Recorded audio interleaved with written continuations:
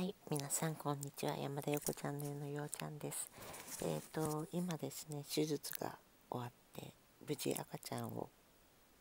生まれる産むことができました。えっ、ー、と赤ちゃんはすごく元気で、あのしっかりした3098かなの元気な女の子です。あの双子の時にも帝王切開してすんごい痛いイメージがあったんで。ああもうどうしようと思ってたんですけど今回はなんかもうお薬とかも変わったみたいですごく楽な帝王切開で母子ともに健康です、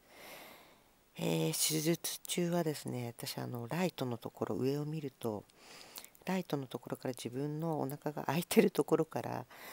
あの赤ちゃんが出てくる瞬間のところまで全て私今回見てました。でなんかもう最後なのかなと思うと勝手に涙が出てきてしまってっていうような今回感じだったんですけどやっぱりあの出産はまあ女性にしかできないことだし何よりも本当に感動します。この感動はあのなんつうんでしょう世界大会を取った時にも比べ物にならないほどの感動です。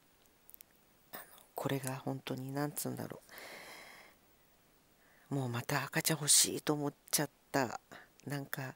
入院中とかすごい辛かったし高齢出産高齢妊娠とかもすごく辛いこととかあったんですけどでも出産はもう本当に言葉じゃ表せられないほど感動的なものです。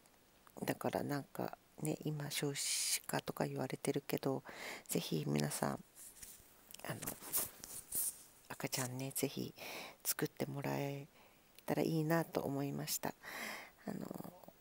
ね10ヶ月妊娠をして10ヶ月。まあ大体お腹痛い8ヶ月ぐらいなのかな？9ヶ月。ほんといろんな経験をさせていただき5人目。の赤ちゃんを産むことができ本当に周りの皆さんに感謝しています。これからはまたあの目標があるんで目標に向かって頑張りたいと思うんで皆さん、えー、応援の方よろしくお願いします。こんなわけでと、またドキュメンタリーの方でもですね放送してしていくと思うんで詳しいことはまた、えー、インスタとかツイッターとかに上げていきたいと思うんで皆さんよろしくお願いしますチャンネル登録の方よろしくお願いしますではまた。